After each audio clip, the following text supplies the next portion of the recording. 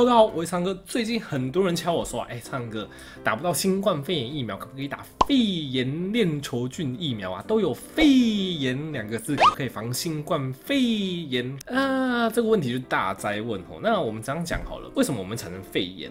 肺炎多半就是因为有被东西感染嘛，被某个病原体感染产生了肺炎。这个病原体可以所谓的病毒，这个病毒就产生所谓的病毒性肺炎。对啊，我们的新冠病毒就是这一类哈，所以新冠病毒它会诱发你产生病毒性肺炎。另外一个肺炎的大宗叫做细菌性肺炎，细菌也可以产生肺炎哦。这细菌感染到你的肺部一样啊，你的肺部会化脓啊、浸润啊、血氧浓度会下降啊，这些所谓的细菌性肺炎。所以光是肺炎，它就有分成什么病毒性。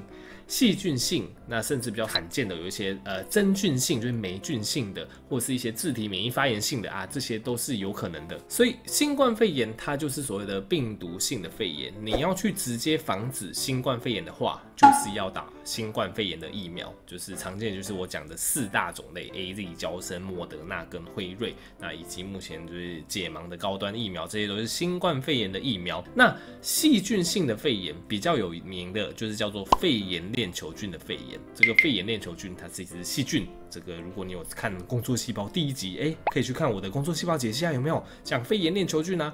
肺炎链球菌就是细菌性肺炎病原体的其中一个代表，对，它会入侵一些免疫力比较差的，比如说小朋友或是老人，入侵他们之后啊，他们就会产生这种肺炎链球菌的肺炎，就是细菌性肺炎的一种啊。诶，那你这样你就会想说了，哦，那是厂商骗我们吗？那些医生骗我们的吗？我们要防的是新冠肺炎啊，我们干嘛打肺炎链球菌去预防肺炎链球菌造成的肺炎呢？啊，那是因为吼，常常啊，这我们身体被病毒入侵之后，我们身体的免疫力会降低。例如说，你的肺部被新冠肺炎攻击之后，你肺部整体的防御力就降低了。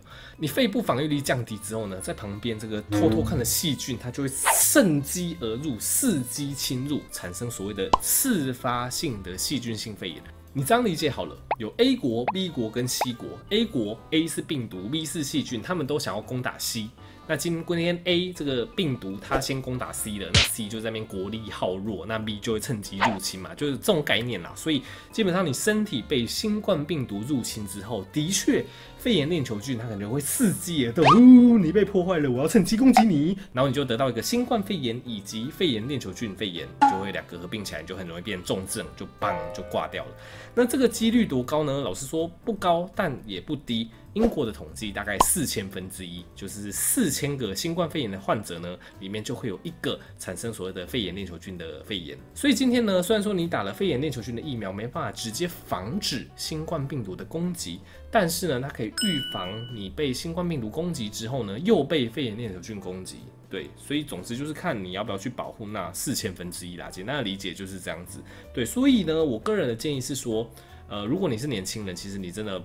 不用真的跑去跟别人抢打肺炎链球菌疫苗，我觉得相对来讲，这年轻年轻人的重症的机会本来就比较少一点点。那你去跟比较免疫力比较差的一些老年人，或者是他有一些免疫低下疾病的人去抢这个肺炎链球菌的疫苗，我觉得意义不大。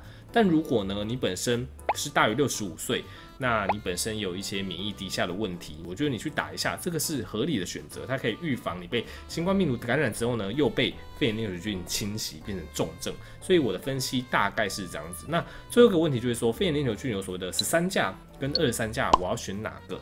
那简单的说法就是，呃，十三价的话，虽然说它只保护其中十三型肺炎链球菌的攻击，但它的保护力是比较高的。那二十三价来讲，它比较广，防守范围防守到二十三种肺炎链球菌的血清型，但它提供给你的防御力会比较低一点点。所以如果你是六十五岁以上的人，或是你是免疫低下的族群，你去打十三价的疫苗，它整体给你的强力保护会比较够一点点。这是我个人的看法。